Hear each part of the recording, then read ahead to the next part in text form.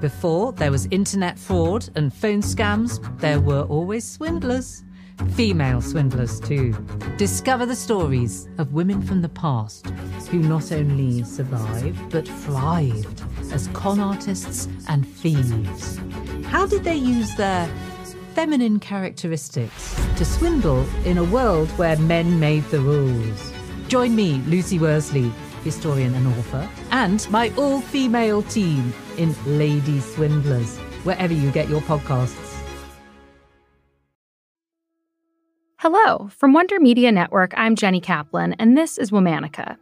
This month, we're talking about women who found themselves at the center of controversy, whether deserved or not.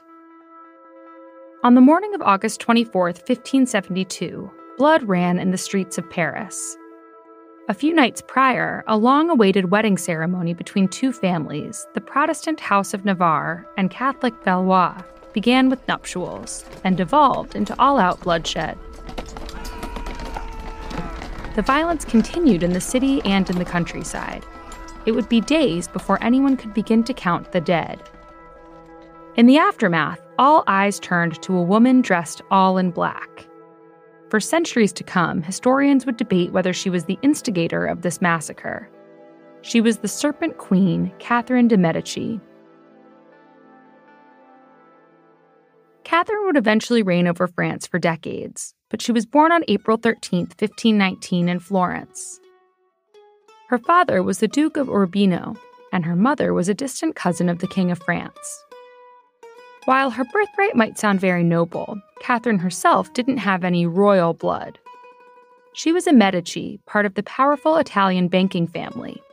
But even that claim to power quickly vanished. Within a month of her birth, Catherine was orphaned. Before she was 10 years old, rebels ousted the Medicis from power and took Catherine captive in a convent. She grew up under the watchful eye of the nuns there until, in 1530, the rebels surrendered and the Medicis returned to power.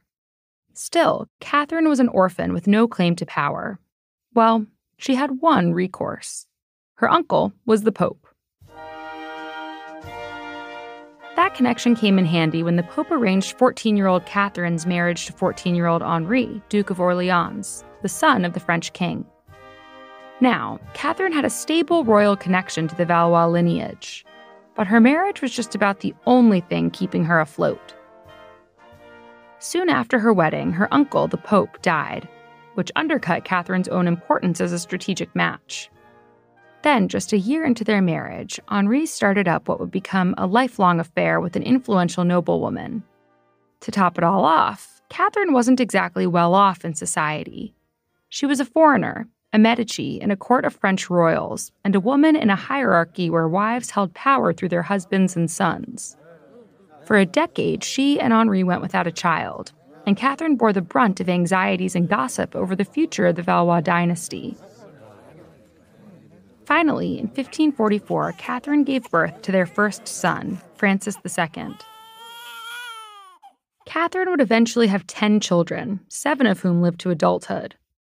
She dedicated herself to their education until in 1547 her father in law, the King of France, died, and Catherine added being Queen of France to her daily duties. The main conflicts in Europe during Henry and Catherine's reign were a series of religious wars. Protestant sects continued popping up across France, which posed a threat to the ruling Catholics. The most significant of these Protestant groups was called the Huguenots. Henri's reign, though, was short. In 1559, while taking part in a celebratory jousting ceremony, an opponent's lance shattered against his helmet. He died of his wounds, leaving the throne to his oldest son, Francis, who was married to Mary, Queen of Scots. But Francis and Mary were teenagers, and Mary's uncles, more extreme Catholics from the House of Guise, intended to usurp the young king's reign for their own agenda. Catherine wasn't going to let go so easily, she stepped in, tapping into her role as grieving widow and Francis's concerned mother. Catherine tempered the Guise brothers' more extreme anti Protestant edicts.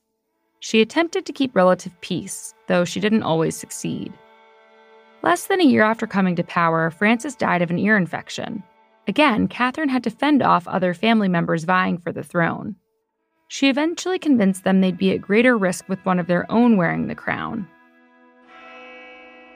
Instead, Catherine's son Charles IX came to power. Charles was just 10 years old. Catherine acted as his regent, and therefore essentially as the ruler of France. This reign was rife with more religious wars. The tempers that brewed under Henri's reign and were stoked under Francis's came to a head. Between 1562 and 1598, France saw a series of eight civil wars, collectively called the French Wars of Religion. Catherine ended most of the conflict with uneasy peace agreements, only to find another civil war brewing elsewhere in the country. Catherine's main goal was to create stability, usually through exercising religious tolerance towards Protestants. In 1572, Catherine attempted reconciliation in the tried and true manner of European monarchs marriage. She arranged for her daughter, Marguerite, to marry Henry of Navarre, a Protestant. Not only did the marriage fail to bring an end to the civil wars, it led to a massacre. During celebrations in Paris, a Huguenot leader was murdered. From that point on, it was carnage for the hundreds of Protestants who'd gathered for the wedding. It would become known as the St. Bartholomew's Day Massacre. Thousands died in the following weeks as the conflict rippled out to the countryside. To this day, there's no direct evidence to tie Catherine to the massacre. Certainly, Catherine and her Guise allies stood to gain from such an attack on Protestants. Whether or not Catherine actually instigated the conflict, rumors flew. There were also accusations of witchcraft and killing a Protestant noblewoman from afar with a pair of poisoned gloves for good measure. Catherine continued to watch over the wars of religion for the rest of her life. She stayed on as regent when Charles died at the age of 23, and her third son, Henry, took the throne. Catherine continued to advocate for resolution, but her efforts were futile. Before she died, she saw Henry orchestrate the assassination of Guise leaders. Catherine died in 1598 at the age of 69. Henry was assassinated a few months later. With his death came the end of the Valois dynasty on the French throne. All month, we're talking about women of controversy. For more information, find us on Facebook and Instagram at Womanica Podcast. Special thanks to Liz Kaplan, my favorite sister and co creator. As always, we'll be taking a break for the weekend. Talk to you on Monday. Before there was internet fraud and phone scams, there were always swindlers. Female swindlers, too. Discover the stories of women from the past who not only survived but thrived as con artists and thieves. How did they use their feminine characteristics to swindle in a world where men made the rules?